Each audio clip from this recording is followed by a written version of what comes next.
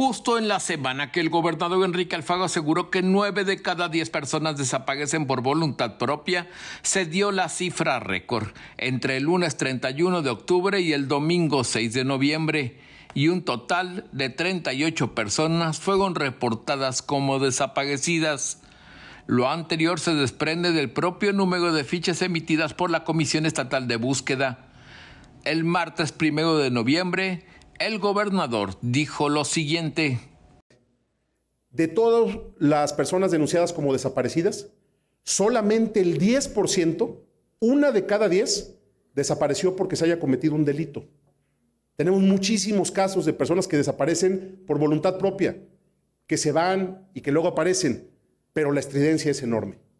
Al término de la semana, el domingo 6 de noviembre, se revela que en siete días desaparecieron 38 personas, 11 de ellas menores de edad y 8 de ellas son mujeres.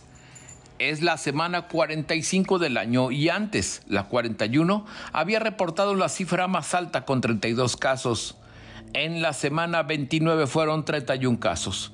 De acuerdo al cifrado, son 8 desapariciones reportadas en Zapopan, 7 en Puerto Vallarta, seis en Guadalajara, dos en La Barca, dos en Tonalá y una desaparición en cada uno de estos municipios. Ameca, El Salto, Ixtlahuacán de los Membrillos, Jesús María, Teocaltiche, Claquepaque y Zapotlanejo. Solo en Zapopan, Guadalajara, Tlajomulco, Tonalá y Ameca hubo resultados. Y se localizó a parte de las personas desaparecidas. En el resto, aún se ignora su pagadero. UDGTV Canal 44, Víctor Manuel Chávez Ogazón.